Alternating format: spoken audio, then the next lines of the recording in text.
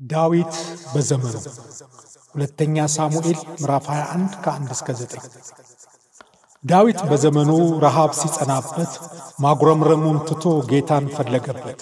ዛሬም ከእኛ ጋር ዘመን ያስቆጠረ ጌታን ስንጠራበት ከስፍራው በረረ። እግዚአብሔር ሲጠየቅ ችግር መፍትሄ አለው።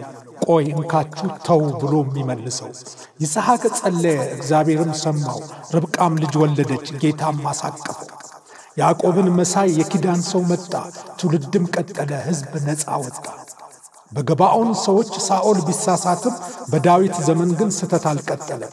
ደም በደም ተሽሮ ነገር ተቀየረ። ሜፊቦስቴ ተርፎ ጌታን አከበረ። ኪዳን ያስመልጣል አንዴ ከተገባ፣ የተናገርነውን እግዚአብሔር አይረሳም። ግራ እንጋባ። እስቲ አንድ ነገር ስሙ ከልባችሁ፣ የእግዚአብሔርን ማዳን ታዩበታላችሁ።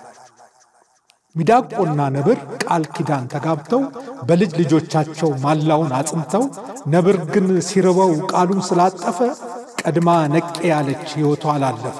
ሚዳቆ በረረች አልበላም ብላ፣ ነብር ተከተላት ፈልጎ ዝልዘላ። ቃሉን ያልጠበቀው ነብሩ ተጎዳ፣ ፈራጅ የለ መስሎት ሊበላ ሲዳዳ።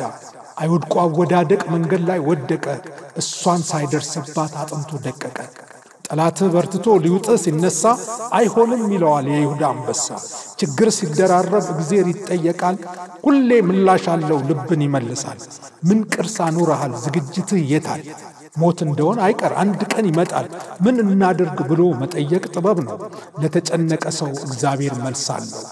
ከዘር ማንዘራችን የሚከተለን ክፉ የጌታ ስንሆን ፊታችን ተደፉ።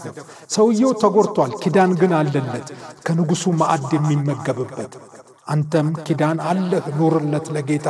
አሳዳጂ ይውደቅ ጠላት ይመታ።